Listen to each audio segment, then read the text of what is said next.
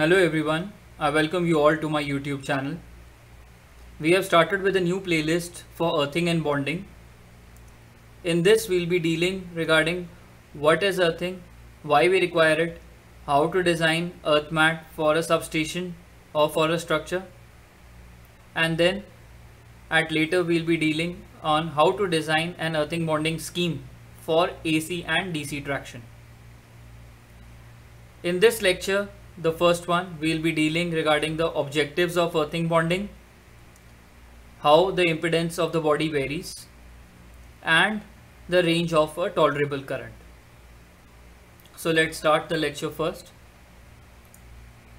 In this, I have mentioned the three objectives. The first one being the safety of a person. The second is the protection of the installation. That means in case of fault, the earth provides the return path so that the breaker trips and avoids the overheating of the installation. And the last is EMC that is electromagnetic compatibility. Like math is the language of physics, earthing bonding forms the basis or the language for electromagnetic compatibility. Now for the safety of person, I have taken an example of an equipment which can be a washing machine which is getting supply from the transformer. Secondary which is connected which is next to your home or your apartment. And there's an MCB there is no switch and all. I have just directly provided an MCB and it is not 10 amps is not the rating but it's the tripping current at which the MCB will open instantaneously so let this is your 230 volt supply this is your phase this is your return neutral and here it is connected to earth the secondary of the transformer. For initial the equipment frame is not connected to earth. Now once you turn on this MCB the path gets closed and the current starts flowing. One point one thing to remember is that the current will always come back to its source no matter what happens the current will have uh, if it is flowing it has to come back to its source. Now suppose the phase wire has broken and it is touching the equipment frame. And somebody comes and touches the equipment frame at the same point of time. This voltage which is in the phase wire will be now to the will now get to the frame and from there this body or this human will provide the return path or the completion of the circuit. And eventually the current will start flowing. Initially if you see here there was a dedicated conductor. Now there is no dedicated conductor as the frame is not connected uh, through a conductor to this point. The frame is being connected from the body and then through the earth. So the current will start flowing. Let us suppose this is 230 volts. The impedance offered by the body is around 1000 ohms and the earth is suppose 0. So the circuit will have now an impedance of 1000 ohms. So the current flowing will be around 230 milliamps. So will the breaker trip? No, as the breaker is set for 10 amps. So the current will then become a continuous flow for in indefinite time. Now we'll check whether this current is harmful or not in the last slide. Let's go ahead further. Suppose you provide earthing to this equipment frame through an electrode suppose and it's having a resistance of 1 ohms. Now as you turn on this MCB and there's a fault then what will happen? The current will flow some current will flow through human body also because it's not infinite it's some uh, thousand ohms and this is 1 ohm so your model will become like this this is 230 volts 1 ohm and 1000 ohm in parallel most of the current will flow through this low resistance path and the current flowing will be having a very high value of around 230 amps which will cause the tripping of this MCB. so that means you have protected your installation also within tripping within time and also your human which is not getting exposed to current for a longer duration now as this is an earth electrode what is it it's nothing but a conductive part which is embedded inside the earth to have an electrical contact with this earth. What is local earth? Local earth is the region or the part of the earth which is near to this electrode and which is having a potential not necessarily equal to zero. It can be but mostly it is not. This region is known as zone of influence. To have a more feel of it, you can refer to IEEE 487 for the definition of ZOI. And the region outside this zone of influence, which is conventionally taken as voltage zero at this region, is known as remote earth or reference earth, this blue region. These definitions are provided for local earth, earth electrode in 50522. I have taken the reference from them. Next we move on to the next slide. In this we'll be talking about the impedance of the body. Now we know that there is a current that was flowing through the body. It can be dangerous in case the magnitude is high and also if the duration or of the fault current flowing through the body is higher. So that means it is dependent on both current magnitude as well as shock duration.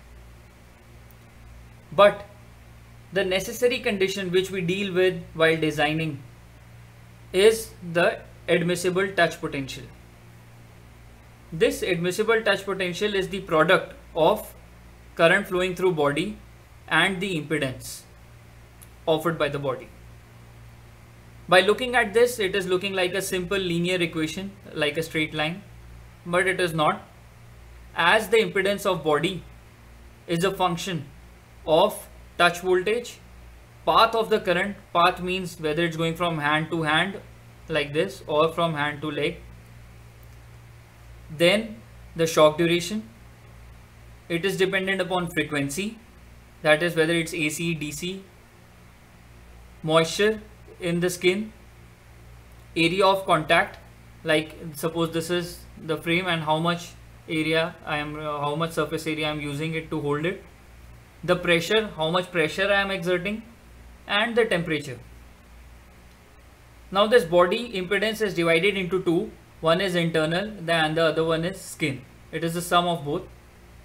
Internal is mainly resistive part and it is mainly due to the flow of current. It is not dependent on other factors. It is only dependent upon the path like it is going from hand to hand or from hand to leg. This is mainly the internal impedance. The skin impedance is com comprised of both resistance and capacitance and it is dependent upon the touch voltage, the time, duration, frequency, moisture, area, pressure and temperature. Now as you increase the touch voltage, there is a breakdown in the skin and the value of skin impedance falls. It goes considerably low, making this body impedance only dependent upon the internal impedance. This is a simplified model. This is the skin impedance. Suppose this is hand and other hand and you are touching it. So this is the skin impedance which is resistance and capacitance in parallel. In between you have Uh, internal impedance of the body and then again the skin. So this is your hand and this is your other hand. So in case of DC this capacitor will offer infinite impedance or reactance as it is 1 by omega c frequency is 0 so it becomes an open circuit. So it will be completely resistive in case of DC whereas in case of AC it will have both the components and as these two being parallel the net impedance offered will be comparatively lower. But we understood that skin impedance is dependent upon voltage only till a certain limit. As it becomes higher the skin breaks down. That means after some time if the voltage is higher like around 200 volts and above in case of both AC and DC the dependence becomes equal as it is only dependent upon internal not on the skin. Now I have given an example of 100 volts here above 200 both are similar because no effect of skin. At 100 volts impedance offered by AC is 990 whereas in case of DC it is 1100 ohms. This is in case of dry condition. It depends upon moisture and all so I have not taken that example. To refer to other uh, values you can go back to this IEC and check which is 6479-1. Now we understood the impedance, the nature of impedance, how it works. Now we'll understand what is the amount of current that can impact. There are four types.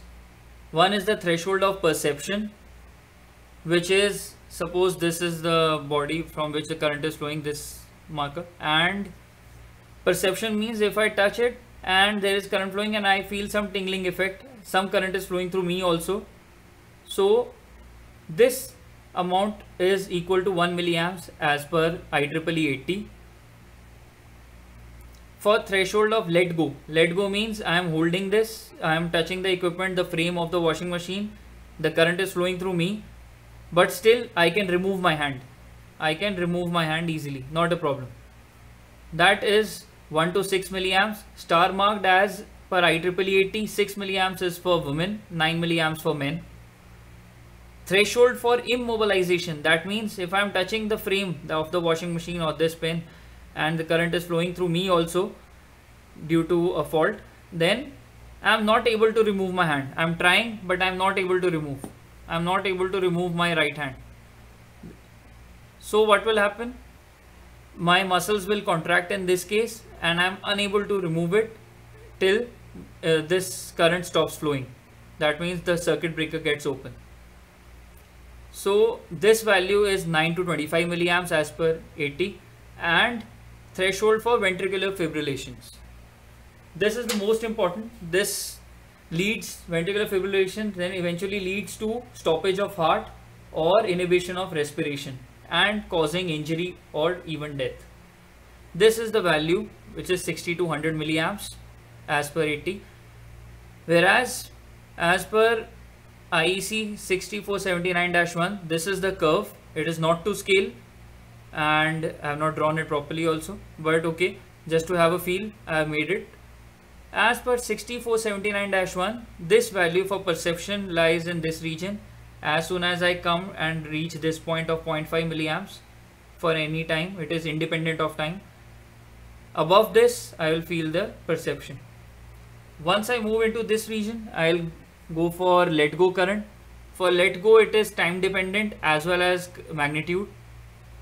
So this is the curve that we follow. Generally from 0.5 to 5 milliamps you can assume.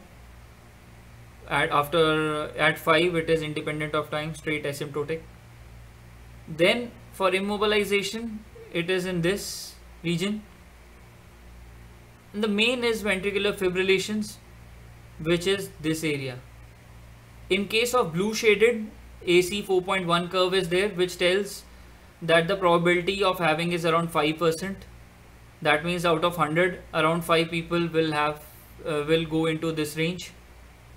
In case the uh, of red uh, red shaded region that is AC 4.2, if this amount of current is flowing for this amount of time, then uh, the threshold of ventricular fibrillation will be achieved by up to 50% of the population and above that is AC4.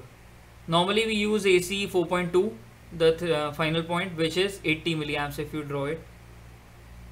In case of DC this is 0.5 is 2 and this is 5 is 25 milliamps and 80 is around 300 milliamps. That is ventricular fibrillation threshold. So I hope you have got an idea of uh, how it is dependent uh, on current and um, time. We'll be dealing regarding touch and, uh, touch and step potential in the next lecture in which I'll be using these values uh, to further go on. Thank you for listening and God bless you all.